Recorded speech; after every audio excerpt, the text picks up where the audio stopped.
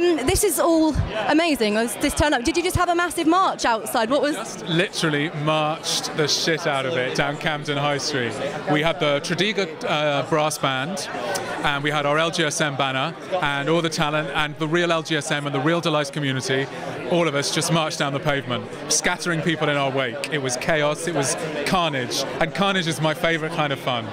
You're causing havoc. What was the what was the reaction like out there? Was everyone just wondering? Mostly bewildered.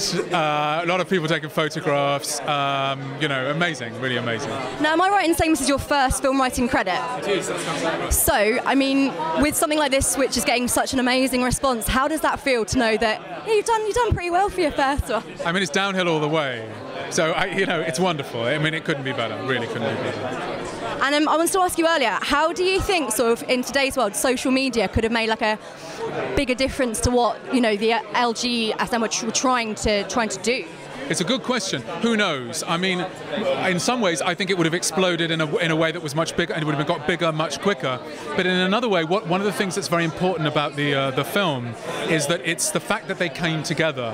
It's the fact that they came face to face. That's what, that's what destroyed the prejudice. So social media is a wonderful tool for mobilizing people, but it's only when we meet each other that we have a human interaction, and it's the human interaction that, that made the difference, that made the change. And finally, I was just wondering, um, do you want this to serve serve as an education to younger people or serve as a legacy or, or do you hope it will serve as a really lovely mixture to the people and future generations? I, I, I, I would never want to educate anybody, but I would certainly, I hope it inspires them to make mischief in the world, and I hope it inspires young people to see that if they don't like something, they can change it. Very uh, easy. It's easier than you think.